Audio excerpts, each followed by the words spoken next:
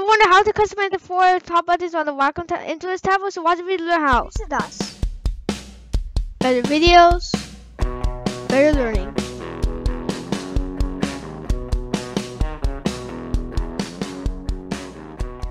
So, hello welcome to the lesson check. Going show a way to actually uh, customize the top button of the Wacom tablet. So, the things you need is the drivers.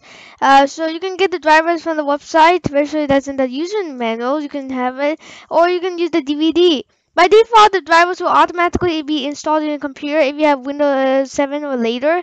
But eventually, if you don't, eventually uh, follow the steps. First, go to the website that's uh, on the bottom. Actually, uh, I will not tell you, but it's wacom.com for the Intuos for the forward slash welcome.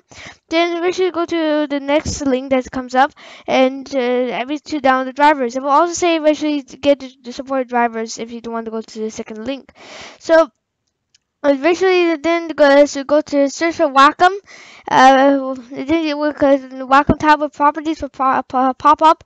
Actually, you, there you can uh, eventually do a lot of things. Eventually, you can uh, customize the, the, those top buttons. The main reason that I made this video. So you can actually um, the first button will customize the Windows key.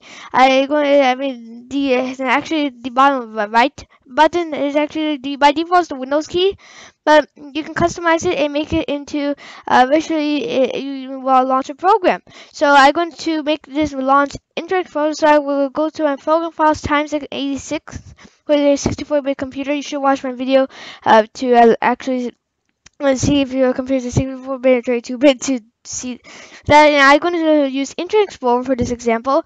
Um, it's, it's, it's iexplore.exe, the executable, and then press OK.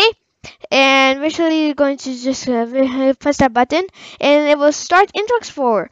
How, how cool is that? It's like a macro key settings, like an expensive mice.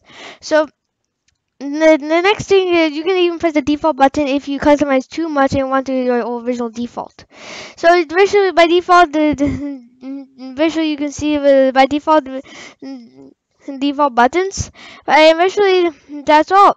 Uh, you can actually uh, the Windows key visually uh, that isn't working very well right now. Um, it's actually actually uh, it will start the the start button eventually but uh, visually if you have still using a Windows 8 computer it would actually start that whole gigantic start menu. So this is good that lesson. Subscribe to my channel like the video and share the video uh, with other friends and interest so watch my last video. So to last video by Krishna so thank you for watching the video. Bye